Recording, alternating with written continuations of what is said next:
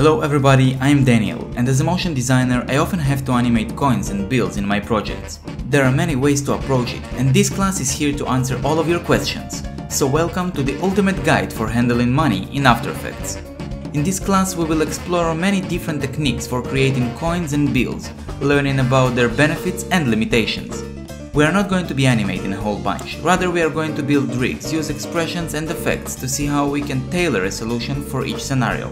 Most of the class won't require you to use any plugins or external tools, so anyone can follow along.